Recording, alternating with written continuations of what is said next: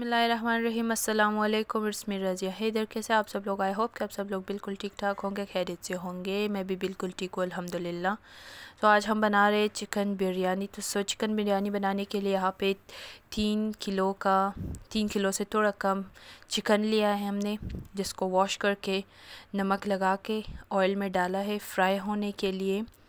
जब तक ये फ्राई होता है, तब तक यहाँ पे मैंने दो किलो से थोड़ा ज़्यादा टमाटर लिया है और द, दस से पंद्रह हरी मिर्चें लिया है और टमाटर को इस तरह से मैंने स्लाइसिस में कट किया है।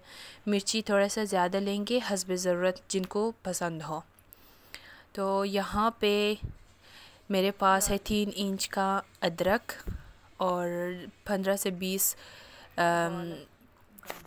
लहसुन है मेरे पास जिसको हम कद्दूकश करके, देन उसके बाद टमाटर पे डाल दें और यहाँ पे मेरे पास है बिरयानी मसाला। इसको हम बिरयानी में यूज़ करेंगे। दैन यहाँ पे मेरे पास है, यहाँ पे मेरे पास है अचार, जो कि बिरयानी में डालना बहुत लाजमी होता है। और यहाँ पे मेरे पास है दो किलो से थोड़ा कम प्याज, जिसको मैंने बहुत डार्क फ्राई किया है ताकि इसका कलर खूबसूरत आ जाए, बिरयानी का कलर।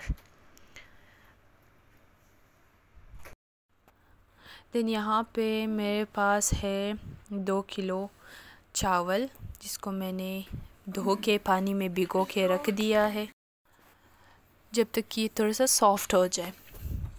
देन यहाँ पे जब गोश्त हमारा फ्राई हो चुका था, देन मैंने यहाँ पे टमाटर डाला, साथ में हरी मिर्चें और अदरक, लहसुन जो मैंने कद्दूकश के रख, करके रखा हुआ था, वो डाल दिया।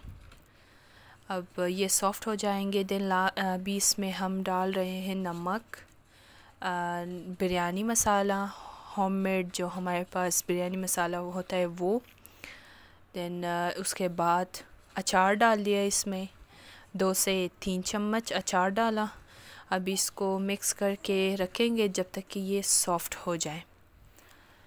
फ्लेम हम मीडियम रखेंगे। देन लास्ट में यहाँ पे मैंने जो मेरे पास फ्राइड अनियंस था, वो डाल दिया।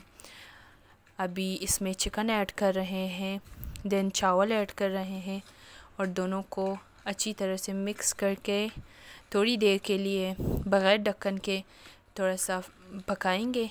देन उसके बाद इसको दम पे रख के फिर फ़ाइनल कर देंगे। एंड फाइनली आप लोग देख सकते हैं कि दम से बिरयानी को उतार दिया है। और ये इसका फ़ाइनल लुक है।